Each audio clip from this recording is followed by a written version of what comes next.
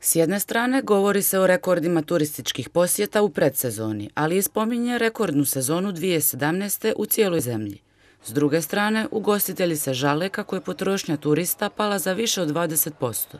Spominju se tu i all-inclusive aranžmani hotelskog smještaja, zbog kojih gosti manje troše u ugostiteljskom sektoru. Možda 2018. godina će biti e, jedna prelomna godina za našu daljnju e, razvoj, naše daljnje kvalitete.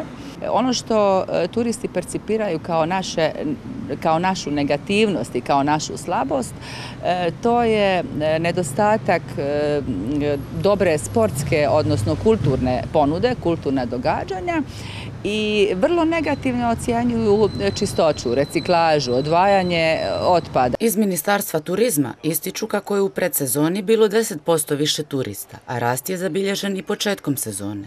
Kakvi su pokazatelji turističkih agencija, rekao nam je predsjednik uprave jedne od njih. Mi pokrivamo cijelu obalu, znači ne samo Dubrovnik, od Istre do Dubrovnika i unutrašnjosti, međutim sam Dubrovnik je e, e, jako dobro e, prodavan na tržištima. Postoje nekakvi minusi koje sada vidimo, čitamo u novinama i, i tako, koji kazuju o nekakvom smanjenju broja gostiju ukupno u odnosu na prošlu godinu, međutim to Dubrovnik i recimo Dubrovačko i Splitsko područje ne, ne pogađa, više se to možda odnosi gore na Istru. Ugostitelji pak bilježe smanjenu potrošnju naspram istog razdoblja prošle godine ukupnom zbroju.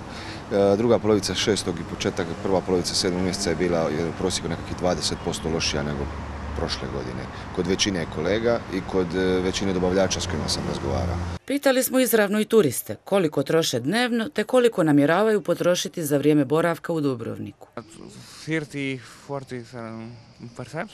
Trošim 30-40 eura dnevno. Ne znam točno, znam samo da moram platiti ručak i ovo što vozim. Ostalo je sve plaćeno.